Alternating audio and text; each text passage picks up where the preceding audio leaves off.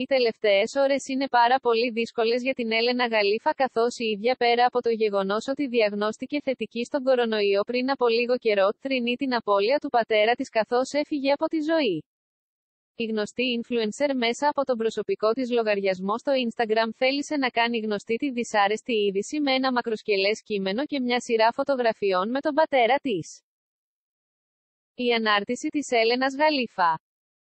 Μπαμπά μου, αχ δεν ξέρω τι να πω και τι να γράψω, γράφω, σβήνω και ξαναγράφω και πάμε ξανά, είναι η πρώτη φορά που όσα νιώθω δεν μπορούν να αποτυπωθούν, μου φαίνονται λίγα.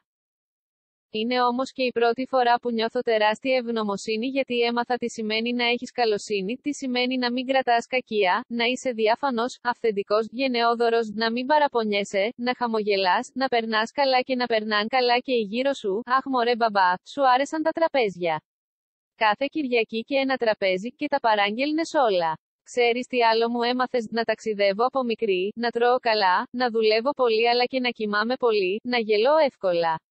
Και κάτι ακόμα, μου έμαθες τι σημαίνει να είσαι τόσο αγαπητός και να μένεις στις καρδιές των άλλων, μπαμπά αυτές τις ημέρες το ένιωσα έντονα.